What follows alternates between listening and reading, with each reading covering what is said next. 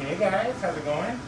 Uh, it's our last Nom Nom Nom kit, uh, and I've had so much fun doing it. We've had 10 amazing chefs be a part of it. Uh, I was so happy to be able to help out as many farmers as we were able to, and to help out as many restaurants as we were able to. But this is the end of the road, guys. This is our last one. Uh, so I thought I'd go out with a bang and do something really yummy. Not that they all haven't been yummy, but like I to do something especially yummy. Uh, I've got Rachel, my chef cuisine, filming right now, but she uh, is going to stay behind the camera because that's what she thinks is best.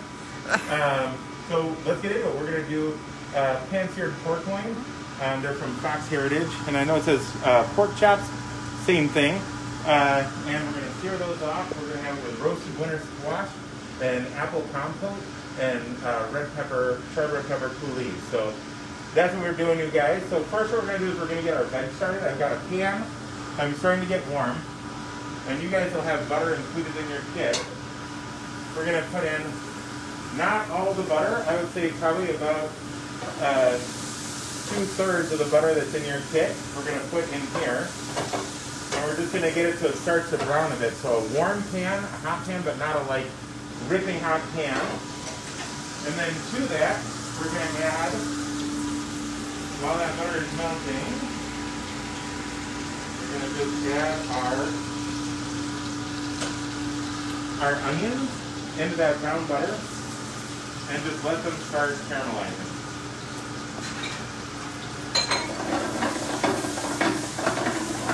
And you guys look in here, if you can look in with the camera, you can see all that brown on there. Those are the butter solids that have gotten all nice and dark brown in the pan. But what you don't want is you don't want it to be black. You want that nice brown, brown butter. And we want to kind of put this in a bit before we add any of the squash so we can get some nice caramelization on those onions. Um, onions need to be above 350 degrees to start caramelizing. If you have too much stuff in your pan, then water is going to leach out and it'll make it to the hottest it can get is 212, the boiling point of water. So the idea is you cook the water out first. Once the water is cooked out, then it can start to caramelize. So just make sure you cook it off long enough, you start to see caramelization. I know it's easy to kind of think it's caramelized because of the brown butter solids, but do you see how this is just kind of translucent? This is getting there, but it's not really caramelizing yet. So I'm just going to stir it for a couple seconds. And then when it starts to get there, we're going to bring over, we have, uh, we have butternut squash from Driftless. Uh, and then we have uh, this one from, um, it's a sugar pie pumpkin as well. So uh, we're going to put in our two squashes.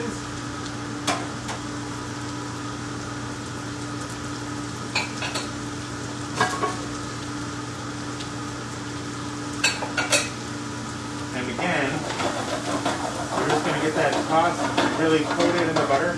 If you guys are doing the vegan version, just instead of the butter, we have oil included. So instead of that, um, you can just use the oil for it. And now that we've got the caramelization on the onions, um, we don't really need to caramelize the butternut squash or the pumpkin. So now we can put in some salt and pepper. And then more salt. A little more pepper. Exactly that ratio, you guys, 100%. and we're going to cook a good majority of this in the pan.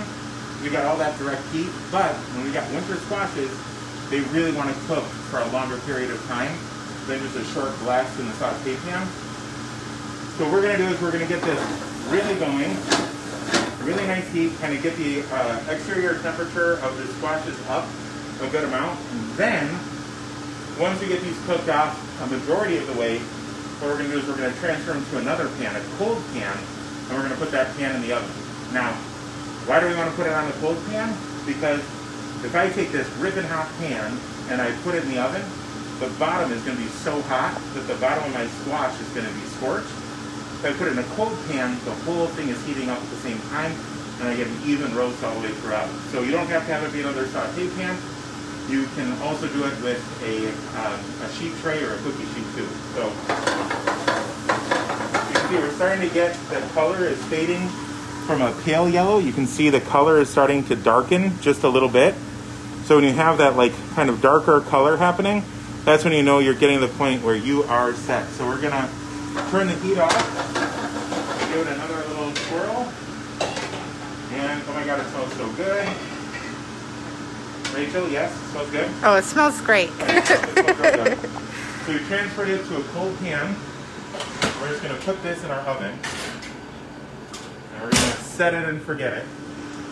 Um, and then we have this other pan here that we've been kind of heating up. We have a vegan version that is uh, with uh, with tofu, uh, and we have uh, uh, this version which is with Fox Heritage Farms uh, lemon black pepper boneless pork chops is what it says on here. They're amazing. They've been marinating. We've been working with Dan. Amazing, beautiful pork chops. And our tofu that we're doing, we smoke in-house. So it's got this beautiful, wonderful smokiness to it. They both taste amazing with this setup. So, um, so again, with this one, what we're going to do, we're to put a little bit of oil, which is not included in your kit, but just use any kind of oil, vegetable oil, olive oil, whatever you like. And we're going to put in just enough to kind of cover the bottom of the pan, okay? So just enough, we don't want too much, and we want to get our pan really nice and hot. And that is the most important thing when you're searing any protein, whether it's tofu or pork or scallops or fish, like anything you're cooking, what you're looking for is you're looking for little wisps of smoke that come up off your pan. You want to get your oil almost to the smoking point um, if you want to get a really good sear. So you throw this away. While that is also, your pan is also heating up, you can take your apple compote, which is just apples, uh, brown sugar, fresh thyme, uh, a little bit of oil, and um, salt and pepper, and you can just put that in a saucepan on nice low heat. So you just want that to be warm, kind of like 10 degrees warmer than room temperature. We just want a nice warm uh, kind of apple over the top. Now, um, you can see we are just getting to the point where we're starting to see a little bit of a wisp of smoke. You want to be careful though, because the oil that's on the outside of the pan is going to start to smoke first. So we really want to have this part of the oil starting to smoke before we put anything in. So I can start to see a little smoke. It's hard to see on the camera, but Rachel can attest. There's smoke coming yes. up from the oil. And what we're going to do is we're going to take these beautiful pork chops or the tofu you're doing. We're just going to put them in. And it's really good when you guys are putting it in the pan. You want to start with it in the pan and lay away from you. So if there's oil that splashes, it splashes away from you uh, instead of all over yourself. So now, I know that the number one thing you want to do is you want to go over to these pork chops every 30 seconds you want to flip them up and look underneath them and see if they're all the way brown or not. Don't do it. What you want to do is you want to look right here on the side, right here at that line. When that line is caramelized and brown and about halfway up the pork chop, um, it is a nice white color. It's translucent. Then you're ready to flip it, but don't peek ahead of time. Is that right, Rachel? Right. Don't Rachel do it. That's when you get one of these from the chef. like in a nice way. Like a nice, a friendly, a friendly love chef. That's actually why Rachel's not on camera right now. It's because she has so many marks from the tongs. It's true. It's not really true. Rachel's a great chef. oh my god, it smells so good, Rachel. Mm. So you can see that the color is kind of coming up the side nicely now. So the color is coming up the side and you can see it's not caramelizing yet, but there is just a light brown color. So really, really, really, really, really, really don't touch it. Whatever you do, don't touch it. Um, I also, for all of you who've already purchased the Nom Nom Nom kit before, thank you so much. Uh, we've been able to put about $70,000 back into our local farming community. It's been incredible and wonderful to have your support. We 100% could have done that on our own. With COVID, so many farms were hit so hard um, by their lack of ability to sell to the wholesaler groups, to the restaurants. And a lot of farms were really worried about what next year was going to look like. They'd already planted all their crops. They had no idea how they were going to make it through. And I won't say it was just us. There were so many restaurants and so many other groups that really helped, like the Dane County Farmers Market and REAP, that really helped to like make sure the farmers had some safety. There were some great grants um, for um, working with Second Harvest to get healthy vegetables out to people. But I'm so happy that when we talk to our farmers now, although it's been a rough year, there are so many less farmers that are terrified. It's more just like what we are as restaurateurs, just like really scared now. So it's not terrified anymore. It's more of like just really scared. So, um, so anyway, I just wanted to say thank you. So now, you guys look here, you guys see that little caramel, it's like brown coming up the side, and half of it is white. That's when we know we're ready to flip. So, Look at that. Beautiful.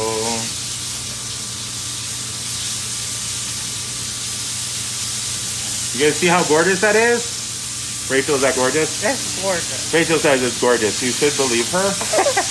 um, so what we're going to do is, right when we flip it, we still want to get some caramelization on this side, but we don't need to go as long on this side because we've already cooked off a bunch of the moisture that was on top of the pork.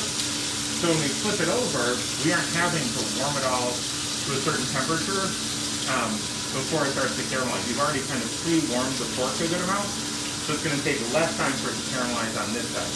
So we're still going to finish this in the oven though. So what we're going to do is, once you start to see even the littlest bit of crease up on the side of it starting to change colors a little bit, just the tiniest little bit, what we're going to do is we're going to take the rest of your butter that's in your stick and we're going to add it to our pork. And now here's the method. Are you guys ready? So we're going to tilt the pan towards us like that.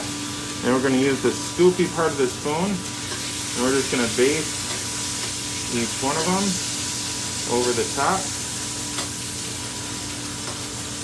And if you guys got the tofu, um, if you have any like soy margarine in your fridge, this also works that way. So you can also just use oil and throw some fresh herbs in. We're basically just basting the oil over the top. And one of the things that's important is we want to make sure that the butter solids are cooked out of the butter before we do the basting because we want this to help make the pork crispier we don't want to make it so that it makes it soggy. So if the butter solids haven't been cooked out, instead of making this really crispy and delicious and amazing, um, it's just going to make it soggy and gross.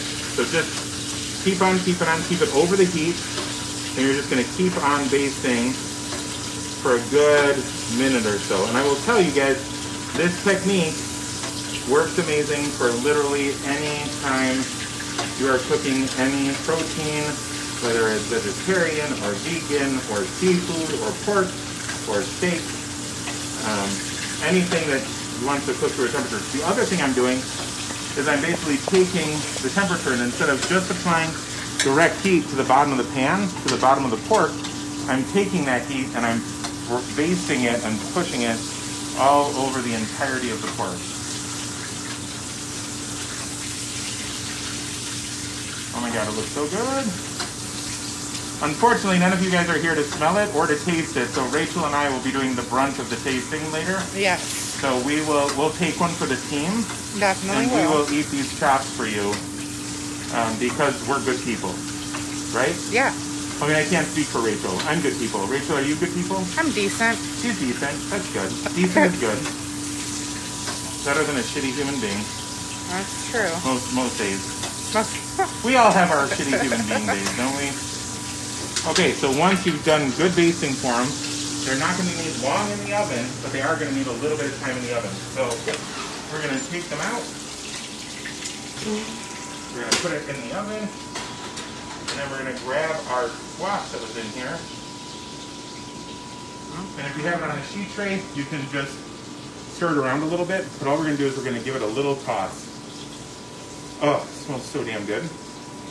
We're just gonna give it a toss, So we mix it all up in there. And we're gonna close the oven again.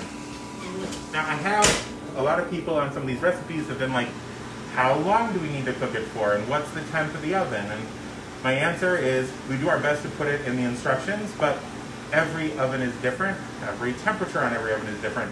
Whether it's convection or standard, all of those things take part in how long something cooks. The best way to tell if your pork chop is done is put your hand out like this. Here, we'll do this hand because I have a little cut here. So put your hand out like this and push right in the fatty part of your hand. If you push here, that's rare. If you touch your second finger and thumb together and push, that's medium rare, medium, medium well, and well. So go ahead, everyone try it. And you can feel as you move your fingers around the difference in the feel. Now if I go in here, my pork chop, and I pull it out right now, and I press in the center of it, it feels about like this, right? Right with my middle finger, which means it's right about medium. I'm gonna not take this to well done. Please don't kill your pork chops. I'm not gonna take it to well done, but I want it at a medium, medium well. So I'm gonna put it in for maybe another two minutes, and we're gonna take our pork chop out, and then we're gonna let it rest, which is super important. So what we're gonna do is, we're gonna stop this Facebook Live, we're gonna wait for the rest of the stuff to finish, and we'll come on back in about five, ten minutes, and we'll show you the second part. So thank you guys so much.